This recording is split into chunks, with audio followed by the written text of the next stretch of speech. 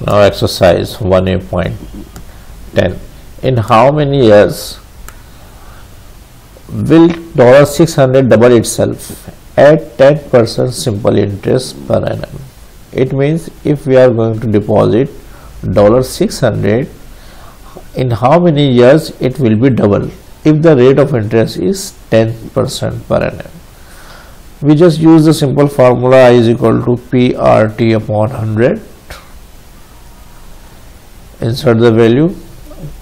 Here we are going to double the amount. It means we we want to have 600 as a simple interest so that at the end it become double.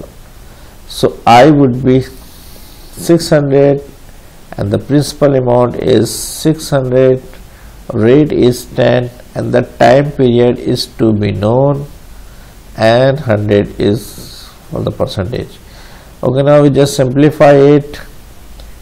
2 0 cut with 2 0 and this becomes 600 is equal to 6 multiplied by 10 multiplied by t.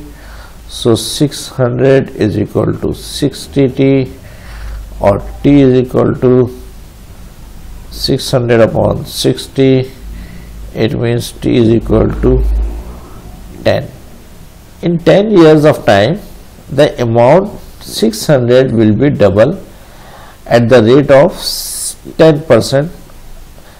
So the, our principal amount is principal amount plus interest at the end the amount will be principal amount is 600 and interest is 600 so amount is double as 1200 at what time?